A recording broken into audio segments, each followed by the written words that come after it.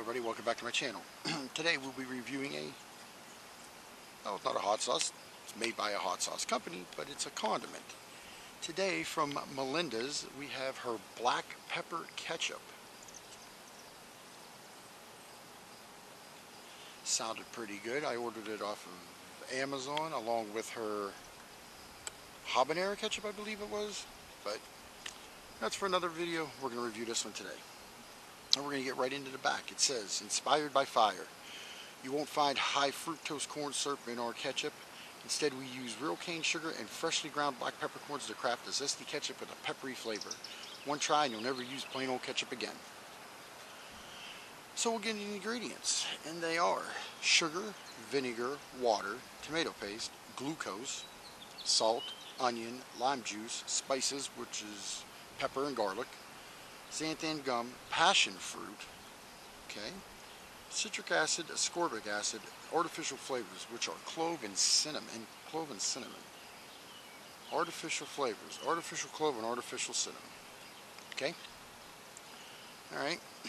Now it's going to be kind of hard to see the consistency, but you know what ketchup consistency is. But, uh, let's, uh, get this baby open.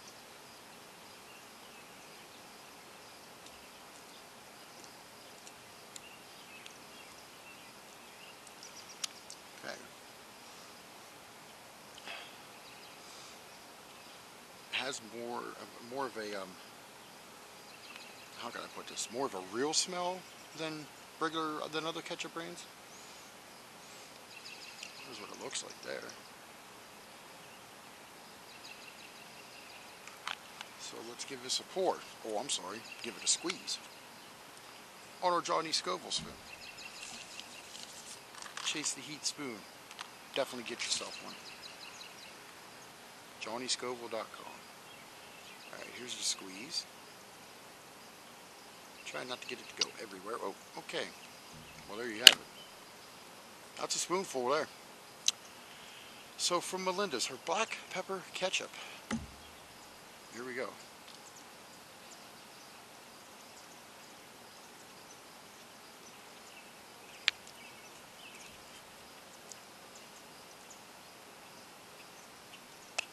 Definitely tastes better with real sugar in it.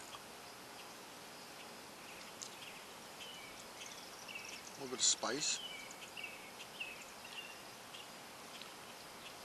Well, I should say the pepper, the black pepper. Oh. Oopsie. You know what, I'm going to do this a safer way, since I'm the only one who uses it.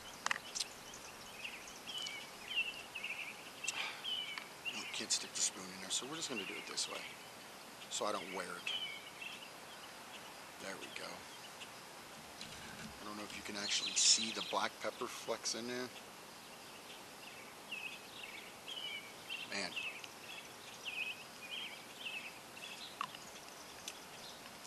There's a very tangy, zesty ketchup, and I love it. Okay. So, my thoughts. Obviously there's no heat because there's nothing really hot in it other than the black pepper. And black pepper's not hot. Um, I get the sugar, the vinegar, the tomato paste. I can taste the onion, the pepper, the garlic. Get a touch of the clove and the cinnamon. Didn't really get the lime juice, but it's good. Like I say, no heat. Um, flavor, give it a seven and a half out of ten. It's definitely a recommended.